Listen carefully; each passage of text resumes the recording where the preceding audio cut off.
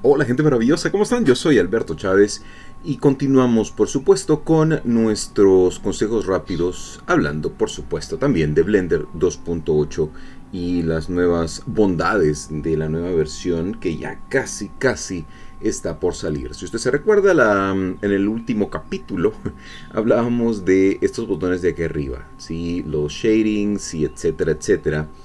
Y pues vea, rapidito si usted se da cuenta aquí arriba hay diferentes tipos, diferentes pestañas.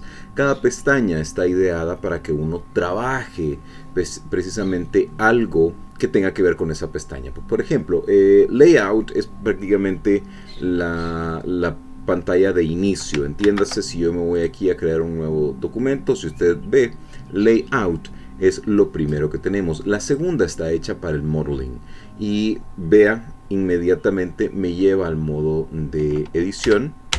Por supuesto que puedo salirme al modo edición con Tab, no hay ningún problema. Está la de Sculpting. Vea de una sola vez, me pone la brocha. Por supuesto que yo puedo cambiar la brocha. Ahora las brochas se cambian al lado izquierdo. También puede hacerlo presionando y antes que se me olvide. Ahí está mi monitor de teclado y ratón. Le decía, puede ser cambiándolo también Shift barra espaciadora y ahora pues usted selecciona la brocha que más le guste para trabajar. Y pues por supuesto ya nuestro nuestro objeto solo habría que activar la topología dinámica. Está listo para ser esculpido. Está la edición V. Solo déjeme deshacer esto que hice ahí le decía, está la edición V. De una vez me da el unwrap. Ya hace el Smart Unwrap. Vamos a añadir, por ejemplo, a Susan y vea. De una sola vez me hace el unwrap para yo poder poner mi respectivo mi respectiva um, textura. Por ejemplo, uh, déjeme ver. Digamos esta que sirve para hacer un lip sync ahí tenemos las cómo se, hacen las, letras. Lo encontré alguna vez y me gustó. Así que ahí ya tendríamos listo nuestro, nuestra textura. Así que en el siguiente, en, bueno, en este que dice shading, es donde nosotros vamos a aplicar esa textura como una imagen. Aquí y ahí y ahí está, vea. Ahí está pues aplicada nuestra poderosa textura. De acuerdo, bien. Regresemos a UV Editing, salgamos de acá, Texture Paint.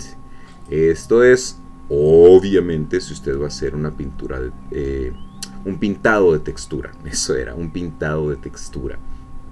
Hay que recordar que aquí, pues, eh, bueno, como ya tengo la, la, imagen puesta, pues ya de una sola vez puedo empezar a pintar.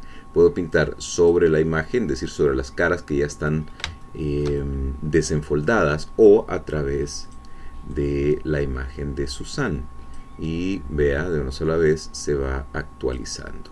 Si no si esto espero. Mm, mm, una delicia una delicia. Ok siguiente animation. Aquí ya está digamos lo que vamos a utilizar de la animación. Aquí si usted ve ya me tenía en la, vista de cámara, precisamente porque para ver cómo voy a animar yo a mi objeto. Todavía tengo la, brocha, vea. Así que pues me salgo, me voy a Object Mode para hacer la animación y digamos que solo vamos a mover a Susan y ahora vamos a hacer ah, vamos a sacarla de cámara vamos a ponerle ahí el, el claro que tendría yo que ay qué vergüenza decía Ahora sí, vamos a mover a Susana, vamos a sacar de cámara y para insertar mi respectivo keyframe, vamos a mover un momentito a este nene y lo ponemos ahí. Ahora hacemos barra espaciadora y vea, ahí está la animación. ¿sí? La siguiente es el renderizado, cómo se va a ver ya mi imagen eh, renderizada, pues por supuesto las caras de cada imagen, de, la imagen, perdón, cada una de las caras de la imagen, eso es lo que quería decir. El compositing, esto es para las, em, las capas de renderizado, es decir, eh, aquí es donde vamos a utilizar, por ejemplo, yo clic en Use Notes y vea, aquí está Render Layers y yo puedo por ejemplo añadir un filter digamos glare vamos a hacer un fog glow y vamos a hacer un F12 no creo que se vea mucho porque pues por último ah claro que tengo que tener a Susana ahí porque si no obviamente no se va a ver nada ahí. Pero casi no tengo luz así que obviamente el fog glow eh, más bien es el material así que para cambiarlo vamos a shading vamos a decirle que sea metálico tal vez ahora sí vamos a ah ya sé vamos a ponerle otra lamparita. Una de punto. Vamos a hacer G y. También voy a hacer que esto sea que no tenga tanto roughness. Vamos a decir que esta va a tener eh, digamos 50 watts ahí está vea ahí está el fog glow que es lo mismo bueno no vamos no lo mismo pero extremadamente similar a en Eevee activar el bloom sí lo sé no hemos visto Eevee todavía así que no ahorita no te lo agradezco pero no Así que también vamos a salir de ahí. Repito, esto es con el compositing, es decir, lo que hace después de renderizado, añade los efectos respectivos. Y finalmente, scripting. Esto es, ok, yo voy a decir, vamos a hacer un nuevo y vamos a hacer import eh, Blender Game Engine.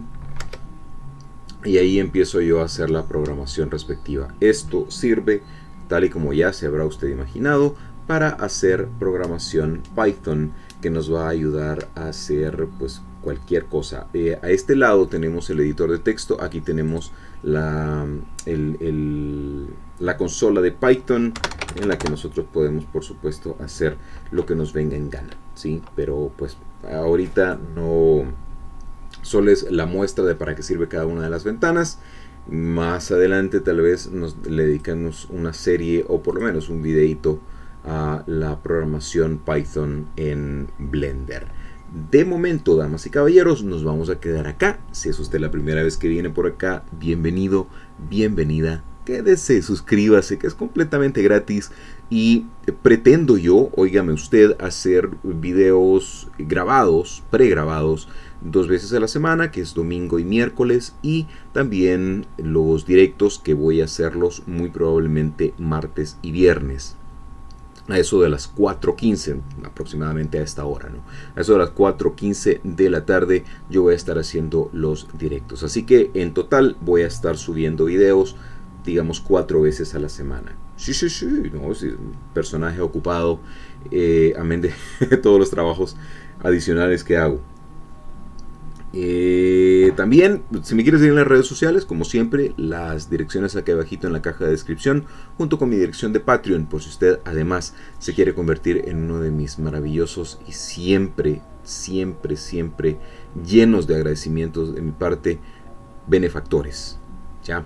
Eh, lléguese a mi Patreon, es completamente gratis, solo llegarse, si usted ya se quiere convertir en mi benefactor, pues solo le da clic al botoncito que dice Become Patron y ahí pues eh, sigue las, las, pues los pasos para convertirse en mi benefactor, desde un dólar al mes hasta prácticamente, digamos, 10 dólares, que es lo más, el, el tier más alto que tengo al mes, repito.